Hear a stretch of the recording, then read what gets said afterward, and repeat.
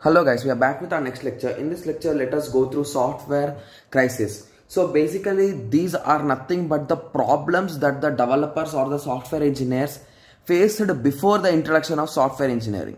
So basically, before introduction of the process that we discussed, like previously we gave we gone through an output on, on an outline, right? So the specifying the problem, designing the algorithm, writing the code and compiling and running. So before the introduction of this thing, when the software engineers used to write directly the code without understanding the concept or without understanding the requirements, previously like way long ago, before introduction of software engineering. So these are the few problems that they faced.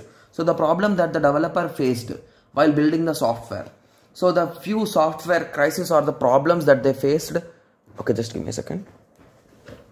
Okay. So the problems that they faced are the project running over the budget or time. So basically whenever a company accepts a project and another company gives a project, they will be assigning a deadline guys like around 6 months or 3 months or 1 month or 2 months like that. Or even some big big projects take 1 or 2 years also.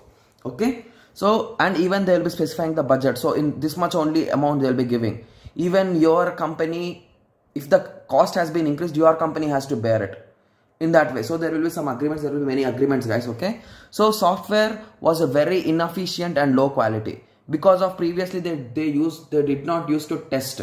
So that is the reason why this problem has to has been arrived. Okay software did not meet the requirements because they did not follow the requirement gathering guys. Okay? Okay so if you write a small crisis diagram it will be in this way. So basically this crisis or the problem which occurred is basically they are using the same methodologies which we which they used for previous projects even though they are success or even though they faced issues they used the same things. So that is the reason why they are using same workflow same methods same tools. So even though they're increasing in demand and which causes the software crisis. So basically these are the things that they followed the same workflow how they are doing the same methods which they used previously they are only using they are the same software tools. So they are using the same tools the old version tools.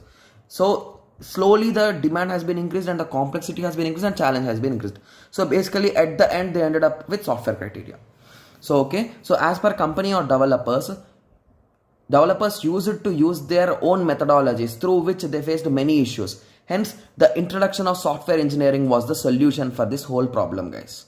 So software engineering came like a spark and it changed the everything. It now whenever you give for a, a, project to a company they will be completing it and they will be giving some demos and there will be a lot and lots of process for a particular single project guys okay?